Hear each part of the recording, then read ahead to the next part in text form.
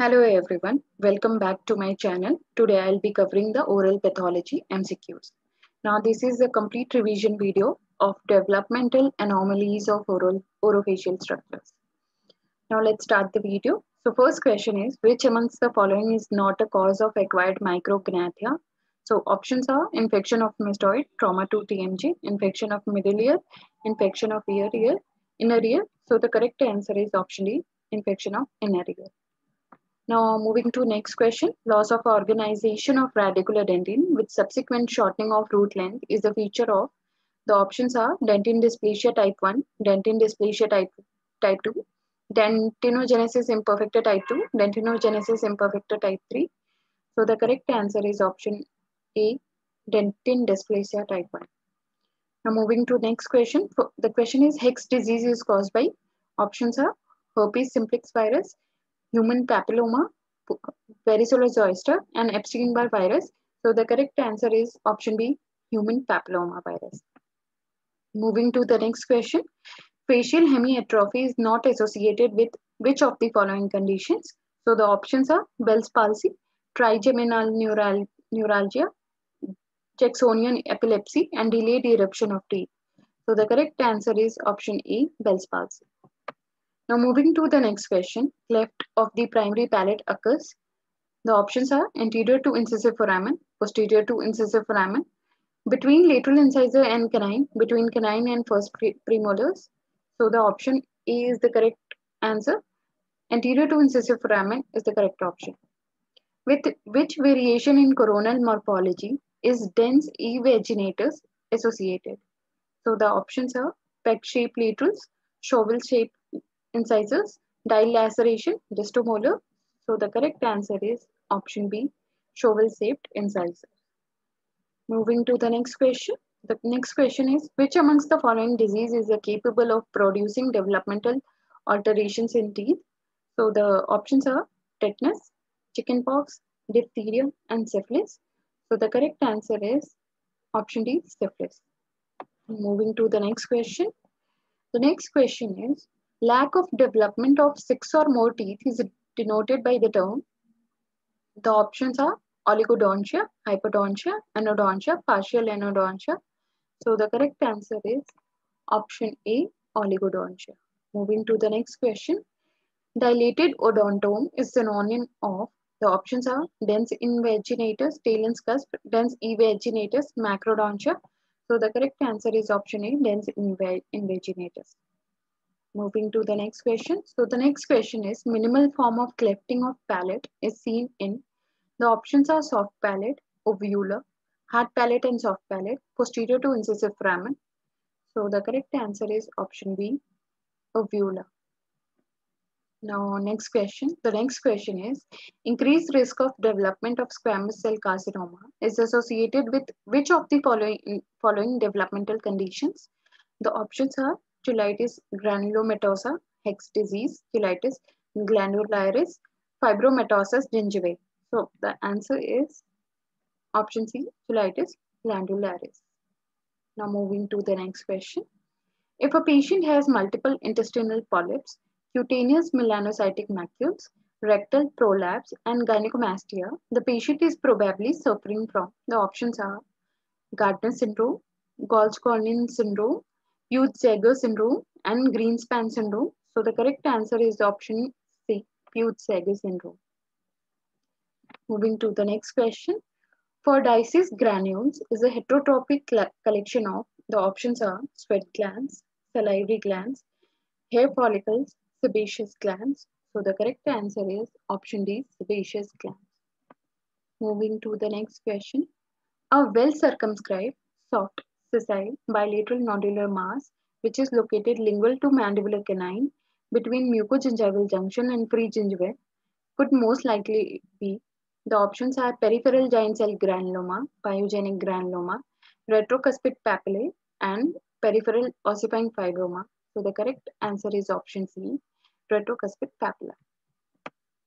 Moving to the next question. Which amongst the following is not a cause of macroglossia? The options are hemangioma, lymphangioma, Down syndrome, leukemia. So the correct answer is option D, leukemia. Moving to the next question. Which of the following is the synonym of fissure tongue? So the correct op so the uh, options are lingual nigra, scrotal tongue, geographic tongue, lingual varix. So the correct answer is B, scrotal tongue.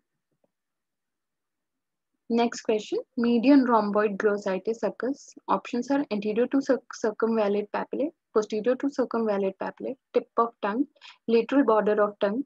So the correct answer is option A, anterior to circumvallate papillae. Now moving to the next question, histopathological features of benign migratory glossitis closely resemble that of the options are lichen planus, psoriasis, systemic lupus erythematosus and erythema multiforme. So the correct answer is option B, psoriasis. Amongst which of the following causes the least probable cause of hairy tongue? So the options are smoking, poor oral hygiene, Epstein-Barr virus, radiation therapy. So the correct answer is option C, Epstein-Barr virus. Moving to the next question. Which amongst the following is not a clinical feature of micrognathia? The options are steep mandibular angle, severe retrusion of chin, prominent chin button, deficient chin button. So the correct answer is option C, prominent chin button. So prominent chin button is not a clinical feature of micrognathia. Moving to the next question. The next question is, indicate the incorrect statement regarding macrognathia. So the options are, it is commonly associated with Paget's disease. Patients tend to have a short ramus. Excessive condylar growth predisposed to macrognathia and the patients have a prominent chin button. So the correct answer is option B. Patient tend to have a short ram ramus. Moving to the next question. The next question is a nodular mass near the base of tongue with presenting complaint of dyspnea and dysphagia and without a dem demonstrable main thyroid gland could most probably be the options are reactive lymphoid aggregate, lymphoid hematoma, lingual thyroid nodule, lymphoepithelial cyst. So the correct answer is option C, ling lingual thyroid nodule. Moving to the next question. Stafne cyst or Stafne defect is an aberrant collection of which gland tissue within a deep de depression in the mandible.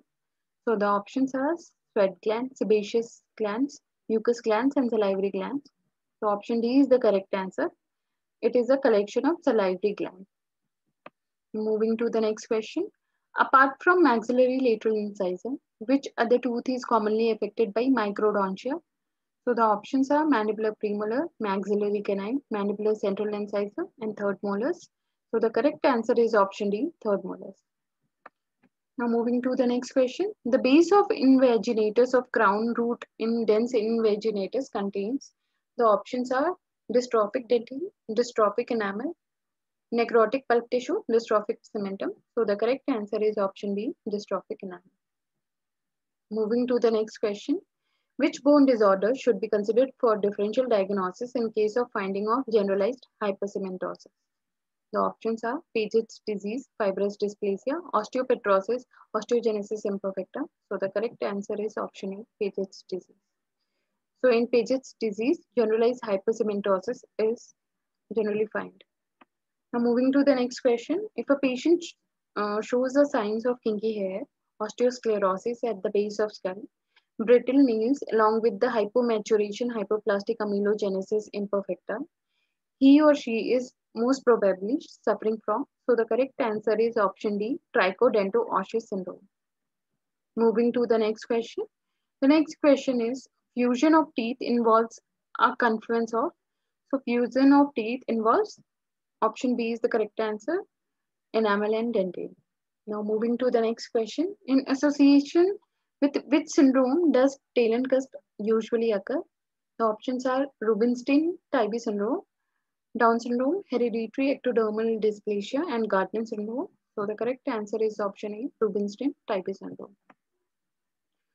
Now moving to the next question. The appearance of normal thickness of enamel with extremely thin dentine and abnormally large pulp chamber is indicative of the options are amelogenesis imperfecta, dentinogenesis imperfecta, type 1, dentinogenesis uh, type 2, dentin dysplasia type 2. So the correct answer is option C, dentinogenesis imperfecta type 2. Now that's all for today's video. Thank you so much for watching. If you have any query or suggestion, then please let me know in the comment section. Till then, take care and happy learning. Thank you.